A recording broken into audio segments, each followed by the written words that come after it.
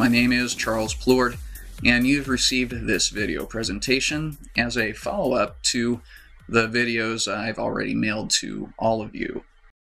You are under no obligation to do anything, and I don't want your money. I have some of my own, and I'm not asking you to join a club or a church or any organization. I realize that you're a reasonable and intelligent person, and I just want you to watch these video presentations and carefully consider and think about the things which I present and the documentation which I show. This particular video in my Alternate Reality Unchained series addresses the family line of a man featured in the Bible as being one of Noah's three sons named Ham. When we look into the 10th chapter of the book of Genesis in verses 6 through 20, we will be able to construct from the information found there a genealogical table which tells us in some detail who the descendants of Noah's son Ham were.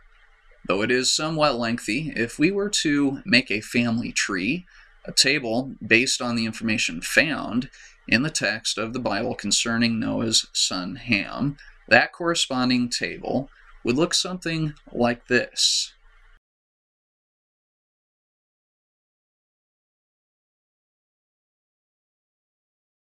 According to Genesis chapter 9 verse 24, this man named Ham was Noah's youngest son. While the name of this man readily reminds me of one of my favorite smoked meats, I will refrain from making further references to it. For reasons which will shortly become very obvious, uh, Ham is the most likely progenitor of the people of Egypt, as well as many other people on the African continent. In this video segment, I will demonstrate this by using sources outside of the Bible, which have nothing to do with Christianity or Judaism, and are therefore not biased in favor of Christianity as I myself am. Since these sources are not arguing for Christianity or the Bible or any religion at all, we must conclude that they are not therefore influenced by my Christian bias. In fact, I have decided to use these sources to show the reliable truth and factual basis of what I am presenting to you in this video series and to demonstrate that my video presentation is presenting evidence from secular or non-religious sources which confirm my conclusions on these ancient names of people groups, cities, and nations. I will now begin my examination of Ham's family line. As before, in cases where there is insufficient evidence, none at all, or only speculation and conjecture, I've decided not to include those names which appear in this table. Uh, since Ham's grandson Nimrod was already mentioned in video number two, I won't include him here again in this video. Ham himself will be examined later, but first we will look at his descendants.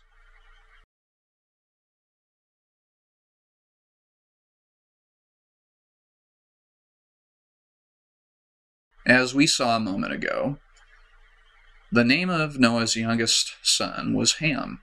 The Bible goes on to tell us that Ham's first son was named Cush. The text of the Bible reads in this manner on this point. And the sons of Ham, Cush, and Mizraim, and Put, and Canaan. As an observant person, you will recall that since the Bible and secular history are more or less in agreement on the fact that all civilization originated in Sumer of Mesopotamia, we must begin there to discover Ham's son named Cush.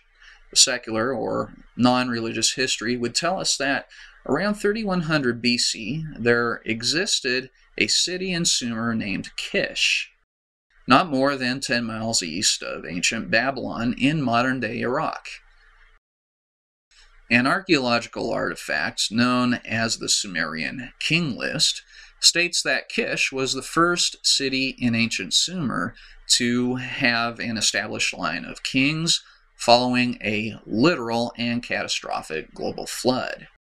An event which is mentioned by the people of ancient Sumer as well as by people of almost every nation in the ancient world. You may not want to believe that the world was flooded with water in the ancients' past. But as an intelligent person, you certainly need to carefully observe that over 200 ancient accounts of a global flood exist from all over the world. You may want to write these off as the nonsense mythology of a stupid and uh, primitive people. But that's really dismissive, and it's just too easy to do that. You cannot explain why the entire world and all of its people in ancient times, many of whom never knew each other, would all record that a global flood happened, just as the Bible indicates in its pages.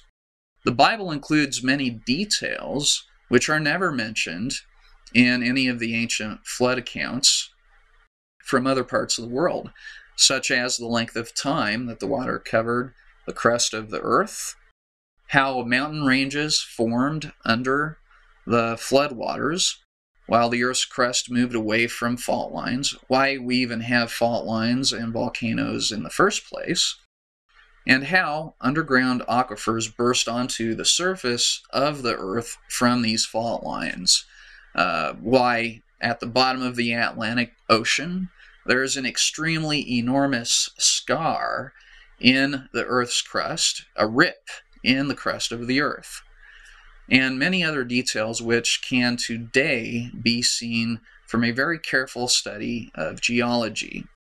In order to understand these undeniable features of our planet, you need to understand what the Bible states about the global flood.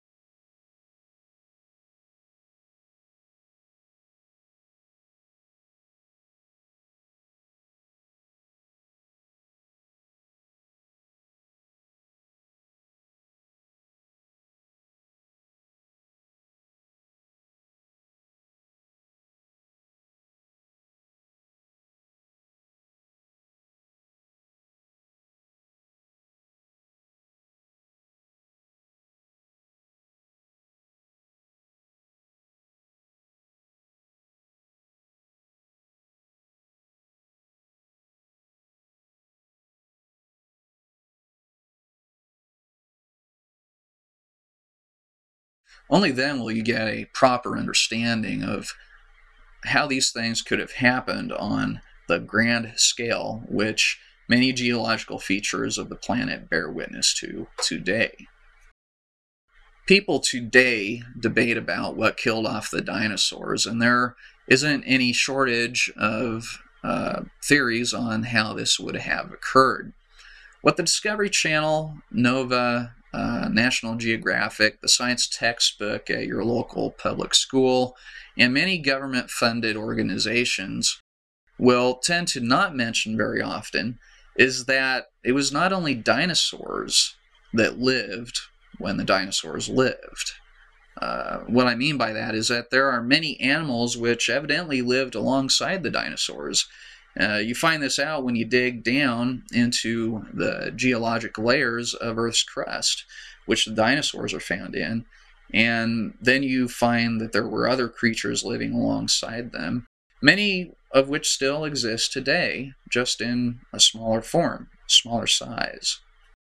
Uh, that isn't men- mentioned very often, and if it is, they they use the Latin uh, name for that creature. It's uh, a name uh, the scientific name for that creature, which makes it seem like it's different uh, just because they give it a different name.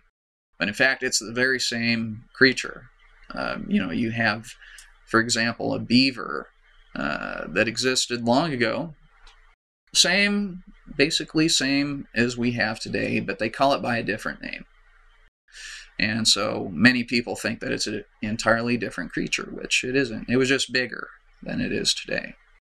And once you understand what the world was like before the flood, you will understand how uh, many creatures, including the dinosaurs, could have gotten so large. If you have different atmospheric conditions, then it, it would be possible to make uh, many creatures much larger than they are today, including plants. We have to understand that a global flood would indeed kill all of the creatures on the planet and bury them in the same layers of mud that are being dug up today and which uh, contain dinosaurs. In fact, dinosaur blood was even found in a T Rex bone some years ago, and scientists scratch their heads in bewilderment while many Christians, who are often cast by the media as being superstitious and simple minded, uh, just simply nodded their heads knowingly. You know, we. we know why you can find a T-Rex bone with blood in it. It's uh, it's not going to last for millions of years, as many of the scientists claim that it would, or should have, or must have survived uh, in order to be found today the scientific world is still reeling from the discovery of actual Tyrannosaurus rex cells and soft tissue unearthed last week at a Montana excavation site.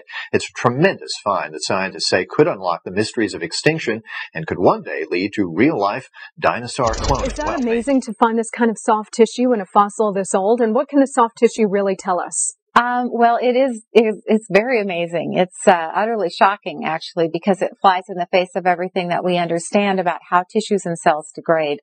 Uh, it's not something that any one of us could ever predict or hope it's, for. Um, it was significantly smaller, but it was also significantly older. And if I'm remembering what Jack told me correctly, it is the first appearance of Tyrannosaurus rex. It's so, therefore, it's the ge- geologically, it's the oldest T Rex on record. An intelligent and cautious person like yourself will quickly realize that blood in a T Rex bone isn't going to survive four millions of years in the dirt. Okay, that just doesn't happen today.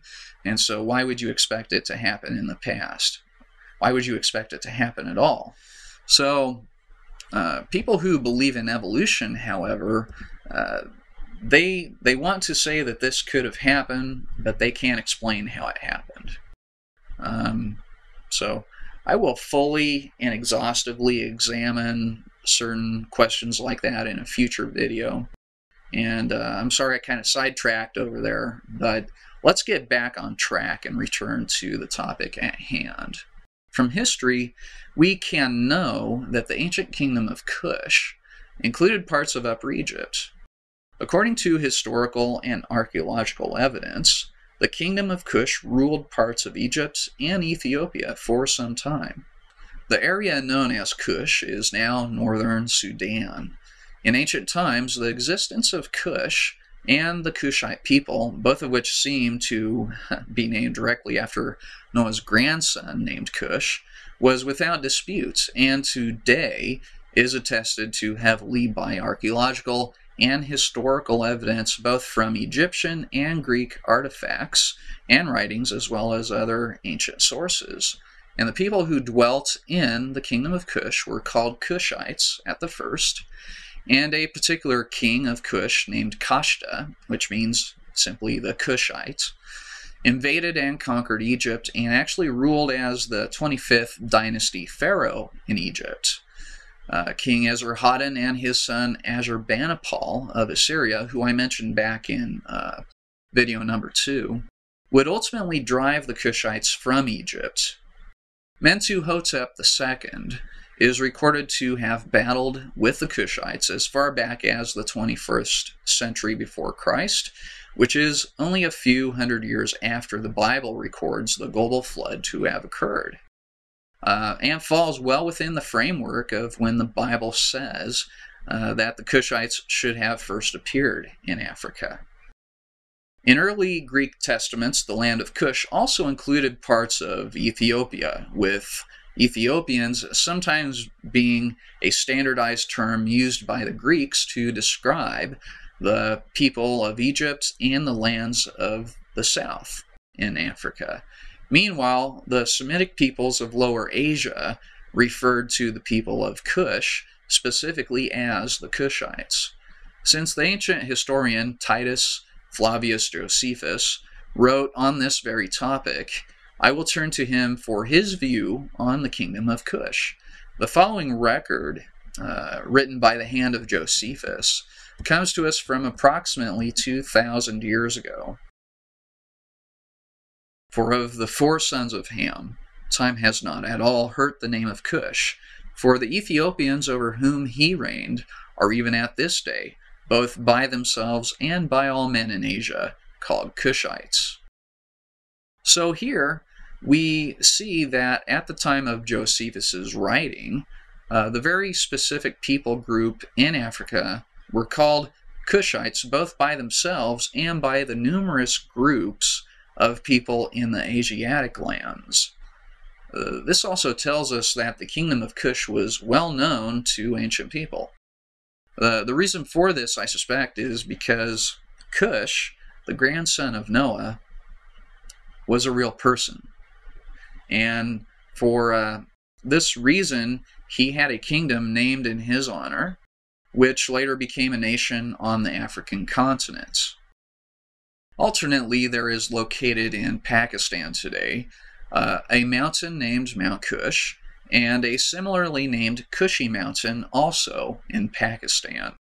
It is useful then to point out that it is well within reason to assume that the descendants of Noah's grandson Cush could have divided into their different groups and tribes and easily migrated then to Egypt, Ethiopia, and modern day Pakistan from a central location in uh, ancient Mesopotamia, uh, perhaps even Sumer. And uh, this would likely account for the name of Noah's grandson being preserved in Pakistan as well as Egypt and the African kingdom of Cush.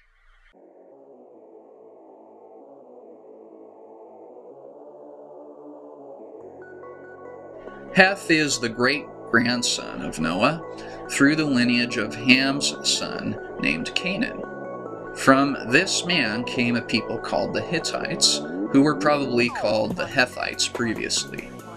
They are mentioned in the Bible as being the enemies of the ancient Israelites on many occasions. They occupied the ancient region known as Anatolia or Asia Minor, whose location is in modern day Turkey. They are referenced in the Amarna letters of Egypt as the kingdom of Keta.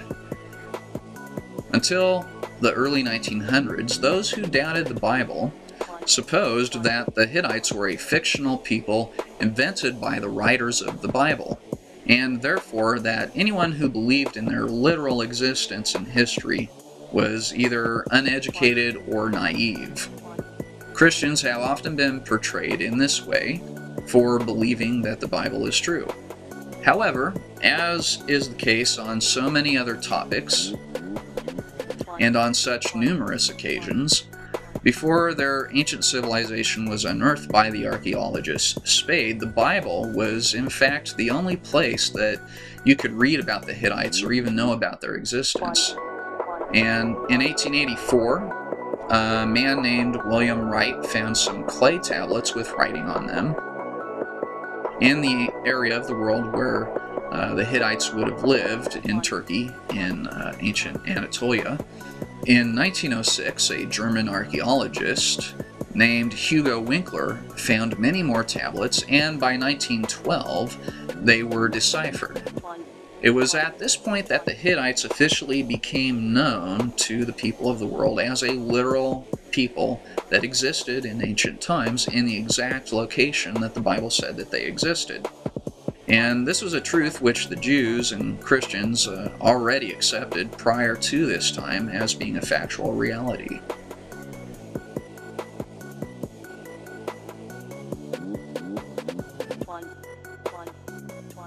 Zidon was the great grandson of Noah, and I would suggest that given the age of Sidon and its location, that it was named in honor of him, Sidonia, was an ancient port city of the Phoenicians and was established about 25 miles south of modern Beirut in Lebanon. It's worth mentioning that the name of the city itself, Sidonia, would literally mean the land, uh, territory, or city of Sidon. Okay, so that's what Sidonia means.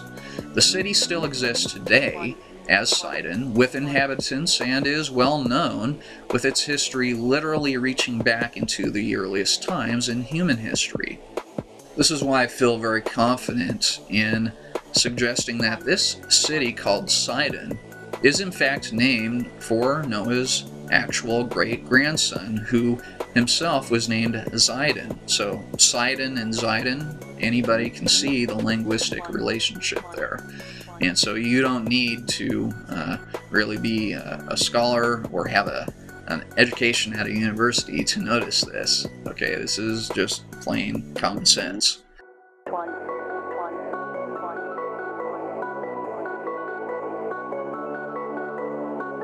Philistim was the great great grandson of Noah.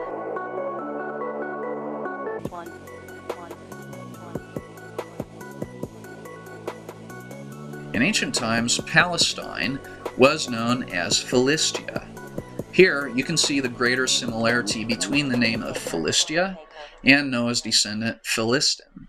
The Romans first began to call Philistia Palestina, a precursor to the name of Palestine, used today to refer to the people uh, from which the Palestinians originated, an area which covers the West Bank, the Gaza Strip, and Israel.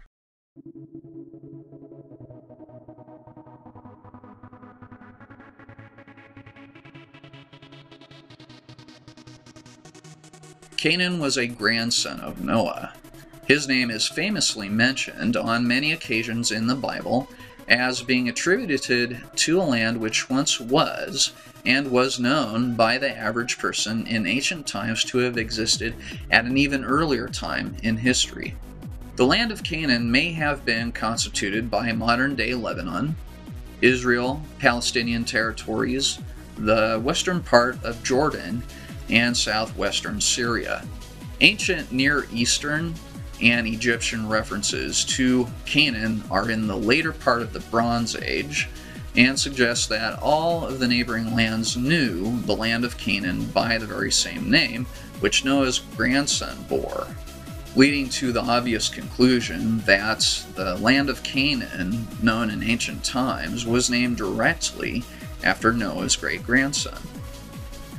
The Encyclopedia Britannica mentions Canaan as a historical region in the Middle East.